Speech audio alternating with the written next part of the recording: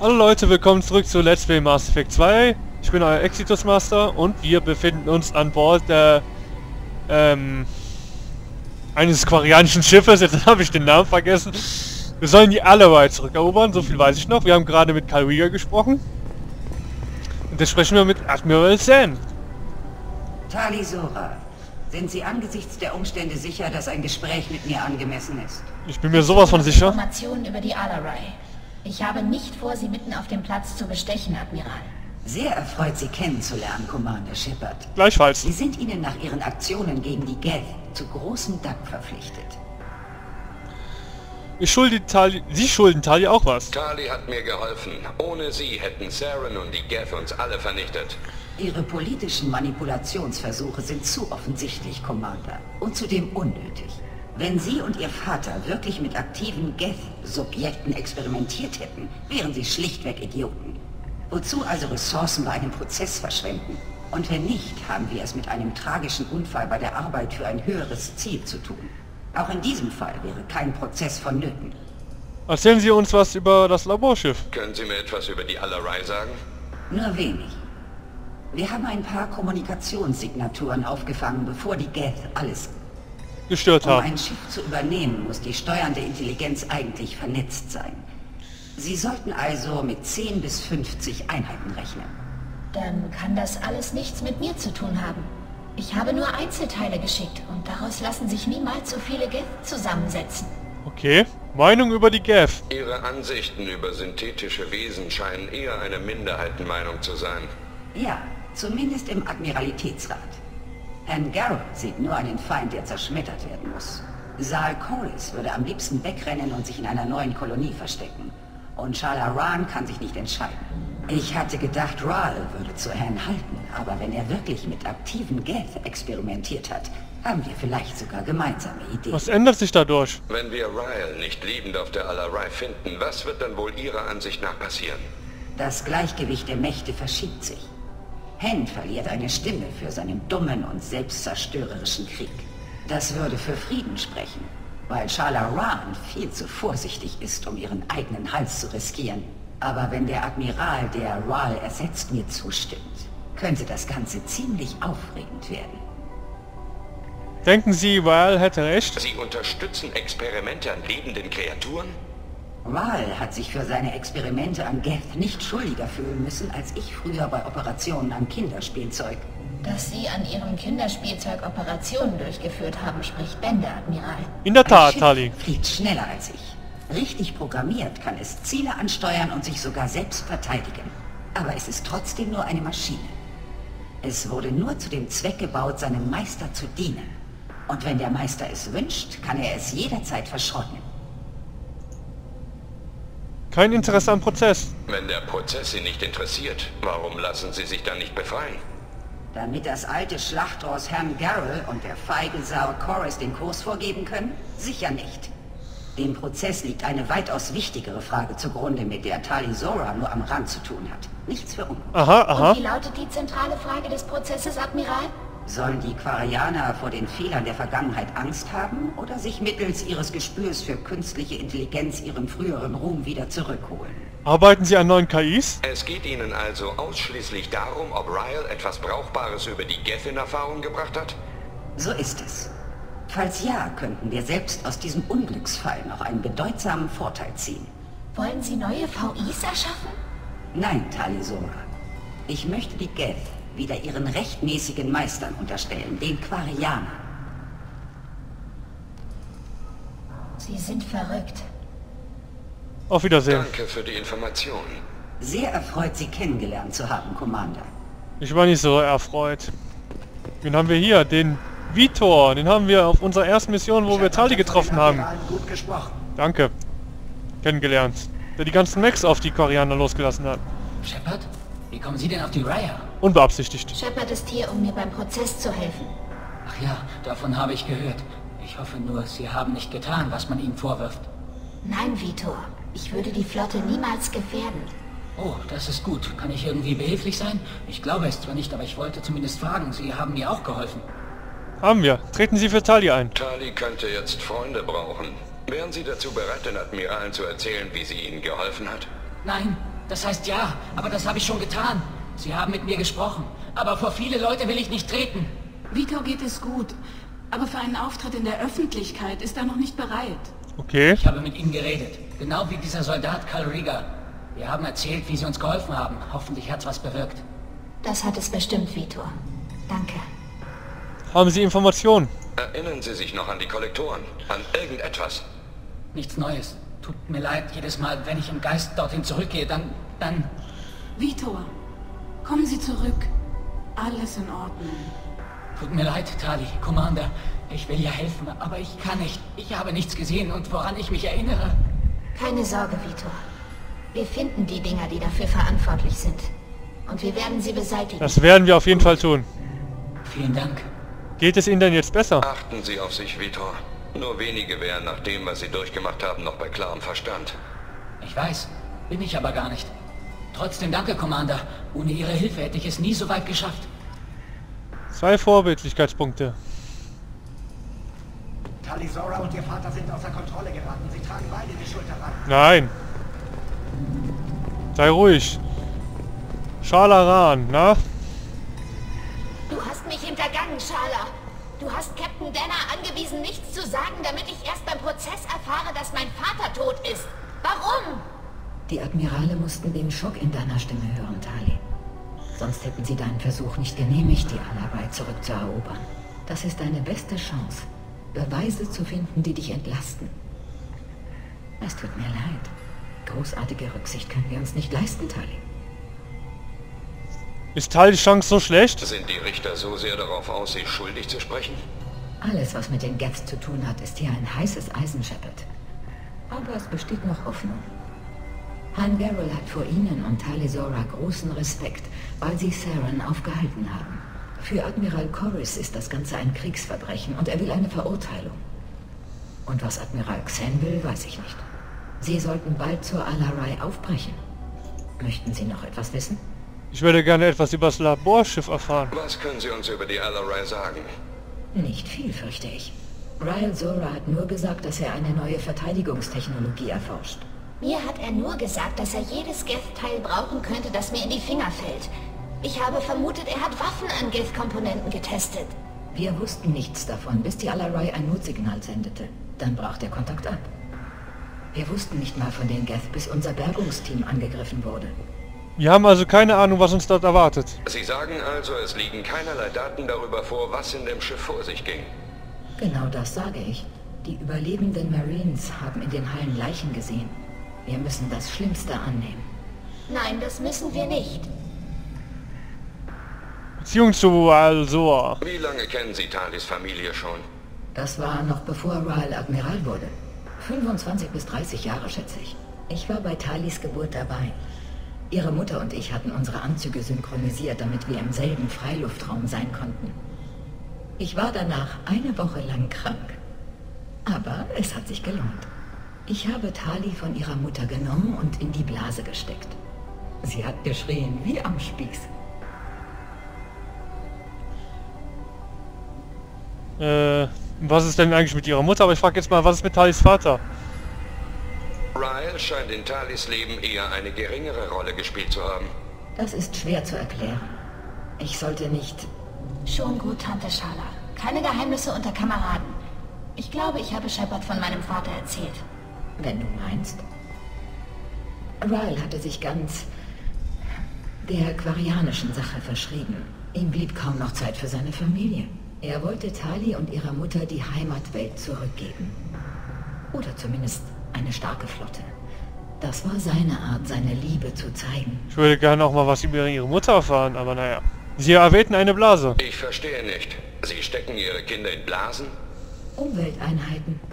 Es ist ein Schritt zwischen dem Vertrauen auf das Immunsystem der Mutter und einem eigenen Anzug. Durch die Blasen können Eltern mit ihren Kindern sicher die Reinräume verlassen. Erst als Jugendliche tragen wir eigene Anzüge. Es gibt eine Feier, wenn ein Kind seinen ersten Anzug bekommt. Es gilt dann als erwachsen. Okay. Notwendige Beweise. Welche Art von Beweisen hat denn bei den Admiralen Gewicht? Tali, Du hast zugegeben, dass du deinem Vater für dieses Projekt Geth-Teile geschickt hast. Ja, aber nichts, was online von allein hätte zurückkommen können. Ich habe alle möglichen Vorsichtsmaßnahmen ergriffen. Dann besorge die Unterlagen über die Lieferungen und die Experimente. Du musst beweisen, dass du vorsichtig warst. Etwas, das beweist, dass alles nur ein schrecklicher Zufall war, den niemand hätte vorhersehen können. Okay, Streit der Admirale. Es schien unter den Admiralen noch andere Streitpunkte zu geben. Sie haben das bemerkt. In der Tat, die Präsenz der Geth macht die Angelegenheit ziemlich heikel. Der Admiralitätsrat will entscheiden, ob er sich auf die Entwicklung der Kolonien konzentrieren soll oder aber versuchen, die Heimatwelt zurückzuerobern. Du denkst an Krieg? Gegen die Geth?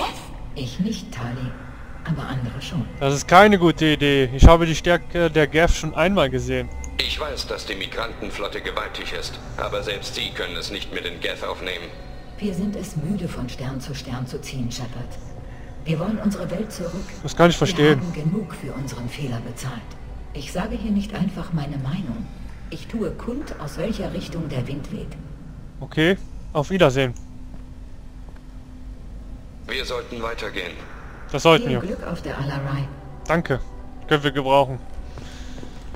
Admiral Garrel. Ich hätte nicht gedacht, dass Menschen so gute Redner sein können. Ja, halt. Wir können auch gut reden, wenn wir wollen. Tali, ich bin froh, dass Admiral Ram durchgesetzt hat, dass du zur Al-Rai fliegst. Hoffentlich findest du was, um deinen Namen reinzuwaschen. Ich bin mehr daran interessiert, meinen Vater zu finden, Admiral. Ich wünsche dir Glück.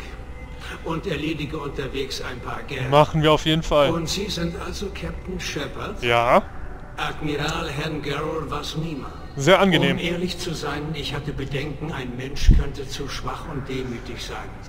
Aber so wie Sie mit Admiral Chorus umgesprungen sind, Tali ist in guten Händen. Sind Sie auf Talis Seite? Ich habe das Gefühl, Sie sind bereit, der Verteidigung Glauben zu schenken. Freut mich, dass das wenigstens auf einen der Richter zutrifft. Wenn du Ryle lediglich inaktive Teile für seine Tests gegeben hast, habe ich damit kein Problem. Wir müssen testen, wie unsere Waffen bei Geth-Material wirken. Ich kenne dich und deinen Vater. Ihr habt zu viel in diese Flotte investiert, um etwas zu tun, das unsere Sicherheit gefährdet. Und ihr seid beide klug genug, um keine Fehler von der Art zu machen, wie man sie euch jetzt vorwirft. Okay, Laborschiff. Können Sie mir etwas über die Alarai sagen? Nichts Gutes. Wir haben ein paar unserer besten Marines in diese Hölle geschickt. Und nur verdammt wenige kamen wieder raus.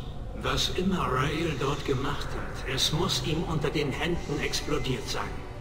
Im Schiff wimmelt es von Geth. Rechnen Sie besser nicht mit Überlebenden. Admiral, mein Vater, Ihr Freund, ist auf diesem Schiff. Das weiß ich, Tali. Aber wenn Schala dich nicht als Freiwillige vorgeschlagen hätte, wäre die Alarai bereits zerstört worden.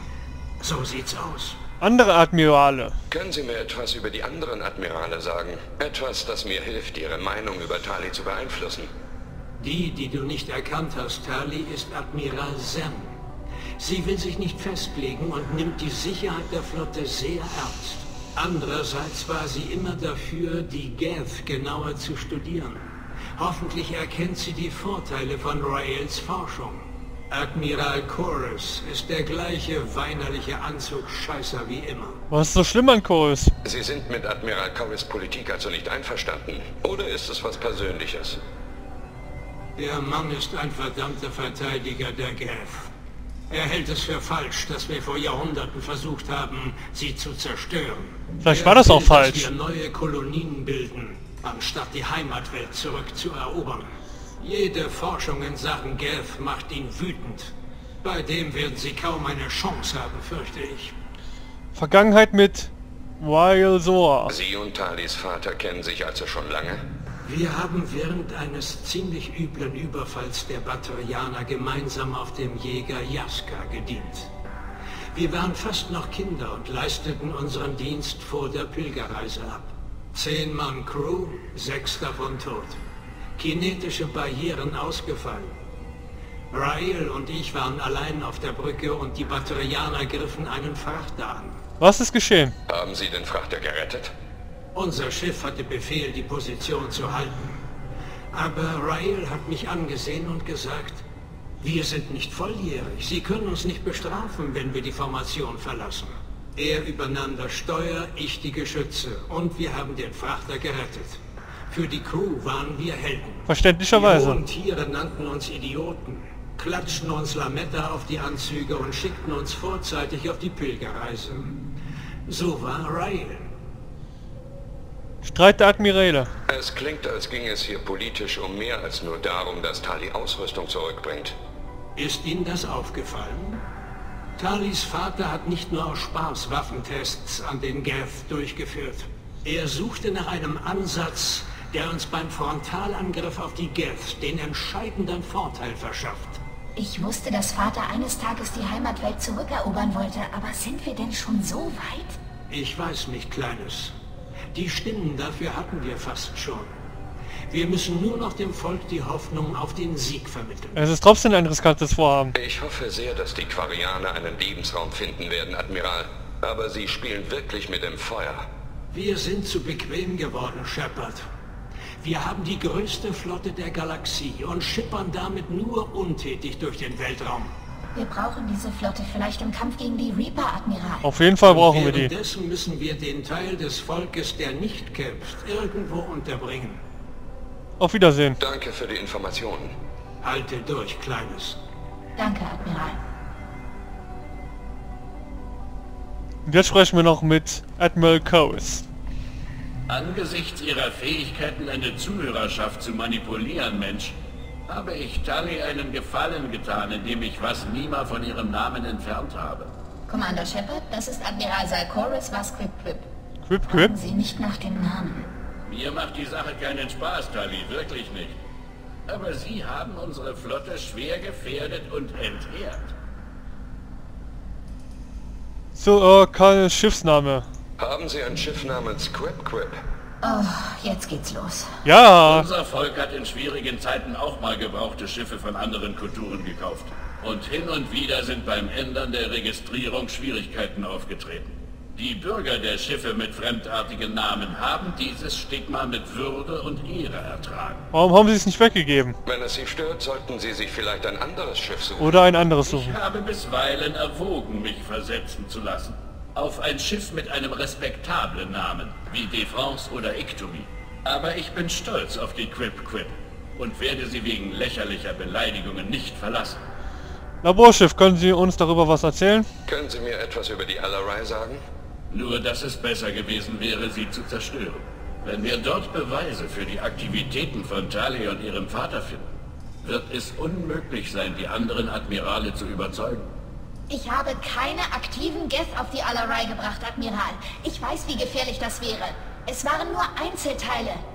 Das eroberte Schiff, seine Crew hingemordet von lebenden Wesen, voller Schmerz, straft sie Lügen, Talisora. Haben Sie eine Abneigung gegen... Haben Sie eine Abneigung gegen Tali? So, jetzt. Was genau ist eigentlich Ihr Problem mit meinem Crewmitglied, Admiral? Genau, wo liegt dein Problem, ich Mann? respektiere Tali sehr. Ihre Aktion gegen Saren verlangt große Anerkennung. Meine übrigens Aber auch. wie ihr Vater ist sie nur an der Zerstörung der Geth interessiert. Jene Wesen, die wir geschaffen haben und denen wir Unrecht getan haben. Die Geth haben uns von unserer Heimatwelt vertrieben. Natürlich haben sie das, nachdem wir versucht haben, sie auszulöschen. Streit der Admiräle. Sie und die anderen Admirale scheinen uneins zu sein, was Talis Prozess angeht. Das ist richtig. Tali, ich entschuldige mich, dass Ihr Verfahren von so etwas beeinflusst wird. Die anderen Admirale wollen Krieg. Ryle Zora war mit der Entwicklung neuer Waffen für den Kampf gegen die Geth befasst. Lieber sehen Sie zu, wie unsere Flotte im Himmel über der Heimatwelt aufgerieben wird, statt eine neue Kolonie zu gründen und sich anzupassen. Bevorzugen Sie also Frieden? Können die Quarianer nach allem, was passiert ist, mit den Geth koexistieren? Ich weiß es nicht. Aber wir verdienen eine Antwort auf diese Frage. Sie sind unsere Kinder, Shepard.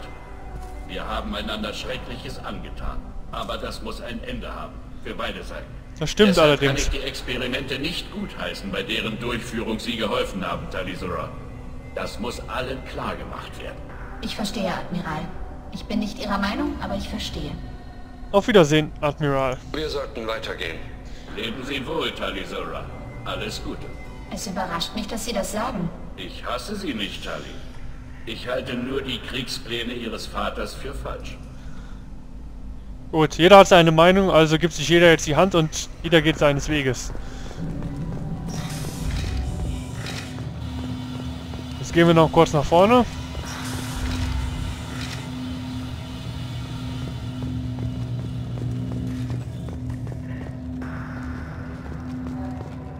Wo ist denn hier die Andruckschleuse?